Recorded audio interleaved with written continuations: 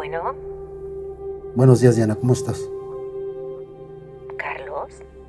Buenos días. Pensé que ya no te acordabas de mí. Eso no podrá pasar. Quiero pedirte un favor. Ay, Carlitos. A ver, dime, ¿para qué soy buena?